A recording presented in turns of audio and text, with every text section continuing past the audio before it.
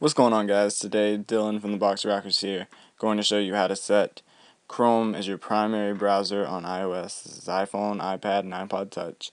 Uh, Chrome just came out for iOS. Really love it. Really enjoy it. think it's a great app.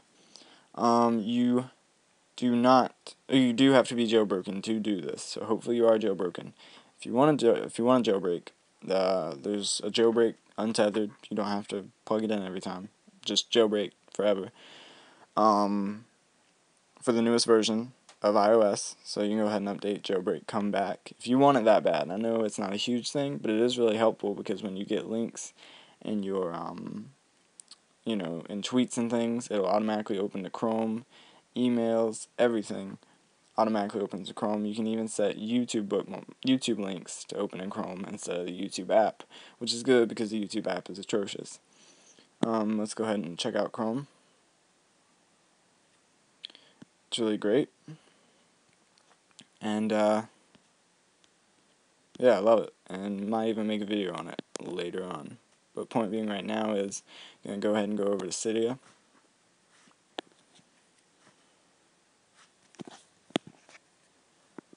Let it load.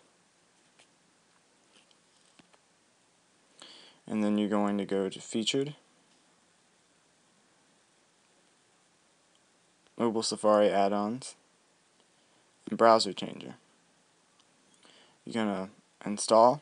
You're probably going to have to respring.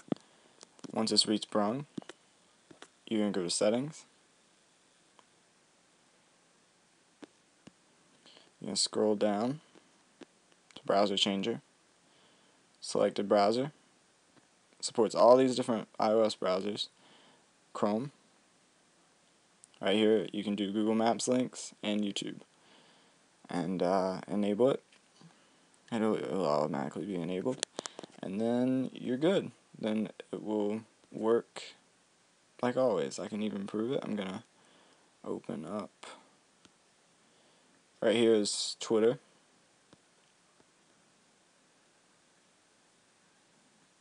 Opens in Chrome. Yeah I get my tweet I get tweets sent to my phone don't worry about that. so yeah, so there you go.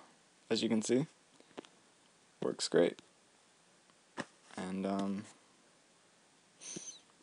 so that is all. Thank you for watching, and until next time, follow us on Twitter, twitter.com slash boxerrockers. Subscribe, please. Thanks for watching. See you next time.